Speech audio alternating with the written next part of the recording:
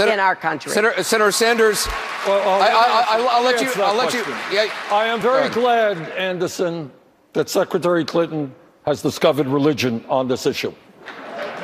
But it's a little bit too late. Secretary Clinton supported virtually every one of these disastrous trade agreements written by corporate America. NAFTA, NAFTA, supported by the Secretary, cost us 800,000 jobs nationwide, tens of thousands of jobs in the Midwest.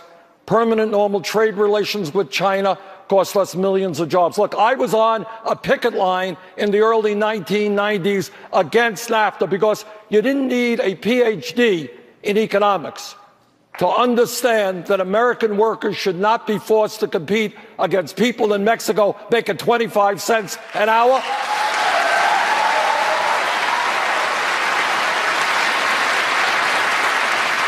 And the reason that I was one of the first, not one of the last, to be in opposition to the TPP is that American workers should not be forced to compete against people in Vietnam today making a minimum wage of 65 cents an hour. Look, what we have got to do is tell corporate America that they cannot continue to shut down. We've lost 60,000 factories since 2001.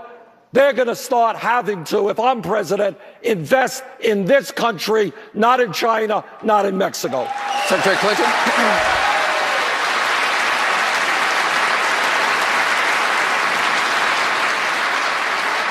Well, well, I'll tell you something else that Senator Sanders was against.